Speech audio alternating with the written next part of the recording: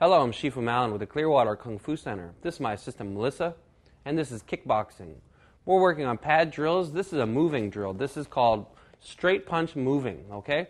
To do this, we're going to execute it together slowly, and then we'll work it as a partner. Okay, the footwork is going to be small steps. My handwork are going to be straight punches. So I start from here. Both of my feet are going to feel like they're attached to each other. So I'm going to use my left hand. I'm going to throw my left foot forward. Small step. Okay, now right hand, right foot. Small step. Left foot, left hand. Right foot, right hand. Okay, and the feet are moving equally. Okay, so if this foot moves forward two inches, this foot moves forward two inches. Two inches, two inches. Okay, it's like your two feet are attached to each other. This is giving you the proper ability, right, and teaching you the uh, teaching you the technique, right, of moving, right, and keeping your balance as you're throwing punches, which is very important in kickboxing. Okay, to do this, Melissa, let's go ahead and start with your left foot forward, hands up. Okay, so starting slow.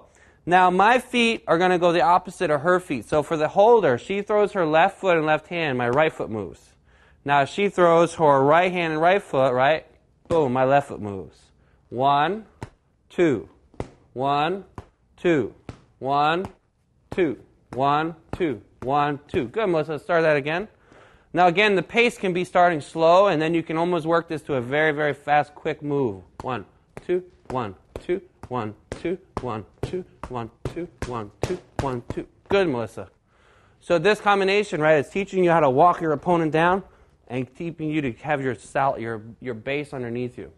This is kickboxing pad basic straight punch moving.